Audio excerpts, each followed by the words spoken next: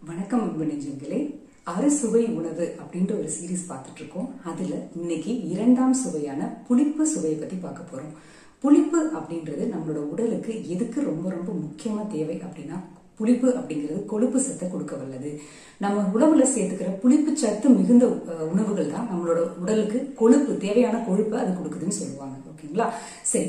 எந்தெந்த உணவுல இந்த கொழுப்பு அதாவது இந்த புளிப்பு சுவை இருக்கு அப்படின்னா நம்ம புளிக்க வச்சு சாப்பிடுற மாவு அதாவது அரிசி தோசை மாவு இட்லி மாவு இருக்கு இல்லைங்களா? அந்த மாதிரி புளிக்க வச்சு சாப்பிடுற மாவு அதே மாதிரி பால் பொருட்கள் அதாவது பெற ஊத்தி புளிக்க வச்ச பால் பொருட்கள் தயிர் மோர் இந்த மாதிரி இருக்கிறதுலயும் இந்த புளிப்பு சுவை அதிகமா இருக்கும். அது இல்லாம சிட்ரிக் ஃப்ரூட்ஸ் அப்படின்னு சொல்லப்படுற எலுமிச்சை ஆரஞ்சு இந்த மாதிரி பழங்கள்லையும் தக்காளி பழங்கள்லையும் இந்த மாதிரி ஒரு புளிப்புச்சுவை அப்படிங்கிறது இருக்கு. புளிச்சக்கீரை இது எல்லாமே நம்ம எக்ஸாம்பிள் எடுத்துக்கலாம். இந்த புளிப்புச்சுவைக்கு. சரி.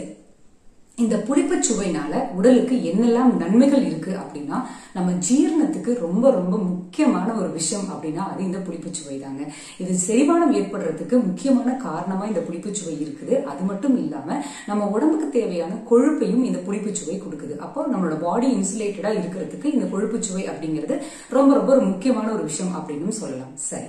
இந்த கொழுப்பு சுவை அதாவது இந்த இந்த புளிப்பு சுவை அதிகமா போறதுனால என்ன ஆகுது அப்படின்னா நம்மளுக்கு தேவையில்லாத நிறைய பிரச்சனைகள் இந்த புளிப்பு சுவையை அதிகமா உணவுல எடுத்துக்கும் போது வரும். ஒரு சிலருக்கு புளிப்பு சுவை இயற்கையாகவே ரொம்ப பிடிக்கும். அவங்க என்ன பண்ணுவாங்கன்னா நிறைய இந்த புளிப்பு சுவையை அதிகமா உடம்புல உணவுல சேர்த்துக்குவாங்க. அப்படி சேர்த்துக்கும் போது என்ன பிரச்சனை வரும் அப்படின்னா அவங்களோட உடல்ல தேவையில்லாத அரிப்பு அதாவது தோல் அரிப்பு சம்பந்தப்பட்ட வியாதிகள் அதிகமாகும்.